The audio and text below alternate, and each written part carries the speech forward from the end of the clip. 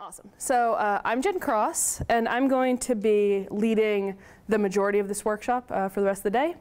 Um, I am a graduate student at Carnegie Mellon University. I'm getting my PhD in robotics.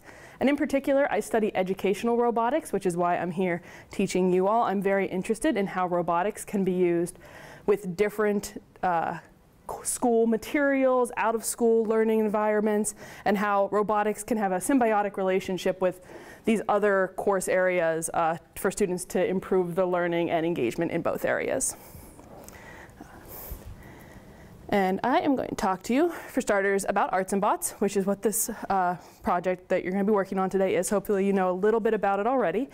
But if you don't, uh, Arts and Bots, as the name would imply, is the combination of familiar and, uh, arts and bots, uh, arts and crafts, craft materials, glitter, feathers, foam board, what have you. Uh, robotics components that are basically the same robots that you would see in the vast majority of robot kits available. So they're not packaged. We don't believe in uh, concealing technology from students. We like to have it laying out in front of you. You can see every piece and how it works. And finally, a custom visual programming environment that we created so that younger students who have never programmed before can kind of have an easy introduction into the ideas of computer science.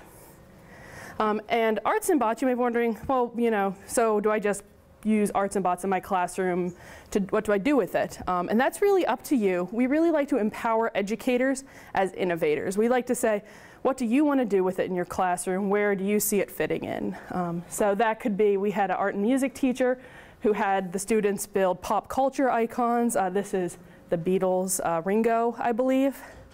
Um, in social studies history, they made historical figures, um, sort of around the side we have, uh, oh, I have a laser pointer. Uh, Julius Caesar, Plato, Artemis, Athena, some Egyptian pharaoh, maybe also Plato. They both have beards.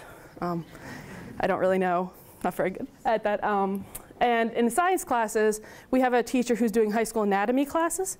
And instead of just looking at the human skeleton in the classroom, they're actually building their own skeleton models and applying the muscles and making it actuated with the robotics kit. So all the students are making these arm uh, models that they then learn to figure out how the muscles and the bones interact to create motion, which is really cool.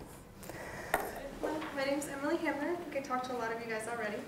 Um, and I'm research staff here at CMU. And so one of the things that we're doing and why we're doing arts and bots is to understand how this new kind of technology combining arts and crafts with robotics can help students learn, can be useful in a classroom, help teachers reach their educational goals. And so the first page on your little packet at the table talks about the research that we're doing. Um, we're trying to study how students gain technological fluency, their attitudes towards technology, how that changes, as well as just how it fits into the classroom.